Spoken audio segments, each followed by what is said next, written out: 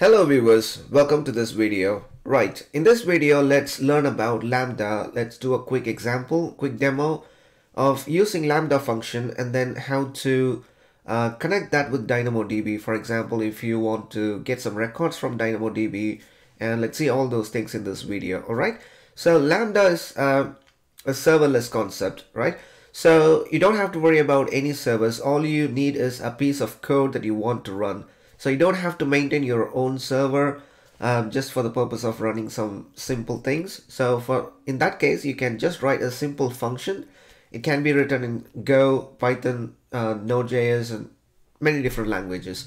So we will take a look at how to write a simple Python code uh, for a Lambda function. And then we will uh, uh, integrate that with the DynamoDB, get some data from DynamoDB. And in my next video, I will show you how to uh, create an API gateway endpoint for that. So for this video, we will be uh, creating the function and we will be triggering that Lambda function manually. But in the real use case, it will be something that will be triggering this Lambda function. Like for example, um, if there is some files that gets inserted or files that get added to a S3 bucket, if that's an event, then that will trigger a Lambda function or if a record has been inserted into a DynamoDB table, that can generate an event and that can trigger a Lambda function. So you, you kind of need a trigger. Something has to trigger the Lambda function and the Lambda function will get executed and you will be charged for the time period the function actually executes. All right. I've logged into my AWS Management Console and I'm going to go into Lambda. Alright, so create function and I'm going to start a function from scratch. I'm going to call this function first Lambda and I'm going to use Python 3.7 for that. And Lambda will get, this is just a basic function that I'm going to show you so you don't have to create any role for that. But AWS Lambda service will automatically create a role for you. Create a new role with basic Lambda permission. So we don't have to worry about that. Alright, so let me move my self view. Create function.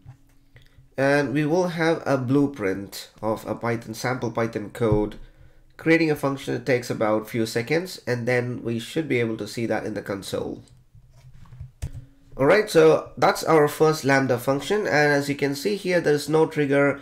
We'll be testing this Lambda function manually and by default the very minimum or the bare minimum uh, the Lambda function needs some permission to connect to the AWS CloudWatch.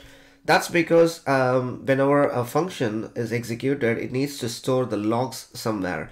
So it will be storing the logs in the CloudWatch logs. So it has created a role for us so that's the sample python uh, code function and down here you will see uh, the role uh, it has created first lambda role um, so if I go to IAM in a new tab oh that's okay open it in the same tab if I go to roles so first lambda role so that's the role that AWS lambda has created for us automatically and um, yep so let's go back to lambda and we will try and play with that function. First lambda, so that's our function. So that's a sample code. And if we run it, so it's a simple function that just returns hello from lambda. That's it.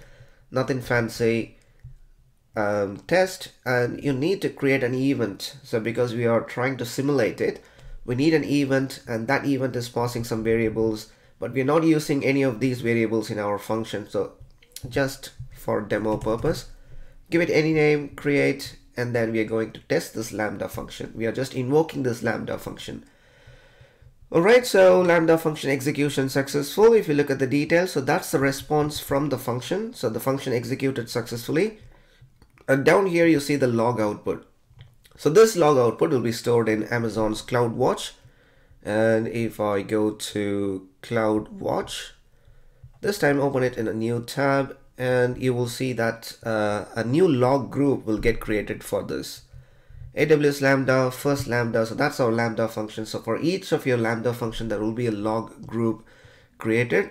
So that's the log group and you can see all the logs here in our CloudWatch alright so now uh, let's try and edit it. All right so here basic settings how much memory it needs. The default is 128 meg timeout. Uh, the function will take about like three seconds timeout if it doesn't complete within three seconds it will fail. And uh, yeah so that's a basic uh, function. So now um, let me delete this function. This is just a basic example to show you um, how a function will look like. So click on actions delete function delete and let's create a new function. So this time what I'm going to do is I'm going to use a Python function and when you trigger that function it's going to uh, connect to the DynamoDB table and get some records back for that I'm going to create a DynamoDB table and the other important thing is we need to create a role IAM role and assign it to this lambda so that this lambda has access to the DynamoDB table otherwise you won't uh, it won't work so for that, I'm going to go to DynamoDB. First, let me create a DynamoDB table. Create table, give it a name. Let's call it subscribers. Primary key, name, just a simple table. Right table is being created. So while it's getting created, let's also create an IAM role. Services. Okay, so I think it's done. Items and create item let's add a couple of um, records to that name Venkat save so this is the subscribers table so I'm adding few records to it Venkat Alice. Let's add one more item. Alice um, Bob. All right so that's a DynamoDB table with three records. That's all. We don't need that anymore. And now I'm going to go to IAM and I'm going to create a role go to roles create a role I'm going to choose lambda. Next permissions and in here I'm going to search for DynamoDB DynamoDB and the uh, permission that I need is Amazon DynamoDB read-only access. So depending on what your function actually does you might need to select different policies here. If you want uh, write access as well to the DynamoDB, uh, you need to select DynamoDB full access. Or if you're interested you can create your own policy. So for now I just need read-only access to my DynamoDB table. So click next tags, review and the role name. I'm going to call it Lambda DynamoDB read-only role. Alright, so create role so role created, we've created the DynamoDB table. So now we can go to Lambda and create a function.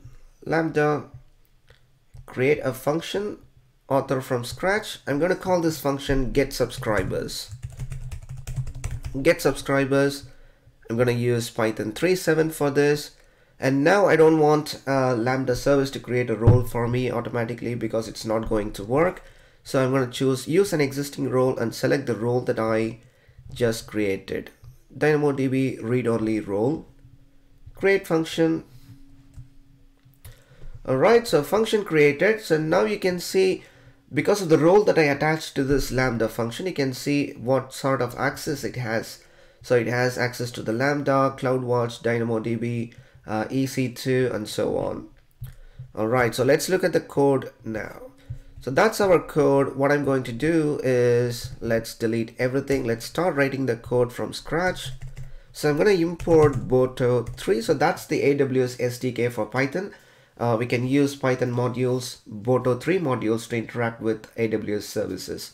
So Boto 3 and we are going to uh, connect to the DynamoDB table. So client equals Boto 3 dot resource our resource is dynamodb and I'm going to create another variable called table client dot table and the name of our dynamodb table which is subscribers alright and finally subscribers equals table dot scan okay so there's a function uh, in Boto 3. So table dot scan will pull all the information about the, uh, the subscribers table. And let's call it return none. I don't want to return anything, but I just want to print subscribers. Okay, let's see what it returns. It's a very simple Lambda function. I'm going to save that and I'm going to test it.